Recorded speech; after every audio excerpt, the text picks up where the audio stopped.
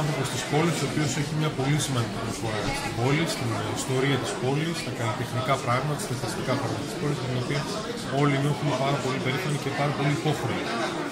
Ε, νομίζω ότι ο Δήμος Κοζάνης, οι δομές του Κοζάνης, οι βασικές δομές του Κοζάνης, ε, οφείλουν αυτή την εκδήλωση να εξετιμήσει το πρόσωπό τους, την προσφορά της και νομίζω μια εκδήλωση που θέλουμε να μάθουμε όλοι, θέλουμε να μάθει η πόλη για το Κωνσταντιό, γιατί αξίζει να ξέρουμε όλοι ότι σε αυτή την πόλη γίνονται πολλά σημαντικά πράγματα από τους ανθρώπους της πόλης και αυτό συμβάλλει στην αναδοχή και αυτοπεποίθηση της περιοχή, της πόλης μας και καταγραφή τους ως μια περιοχή που μπορεί να δημιουργεί σύγχρονα καλλιτεχνικά και εικαστικά πράγματα. Εγώ θα ήθελα να ευχαριστήσω τον Κώστα για την προσφορά του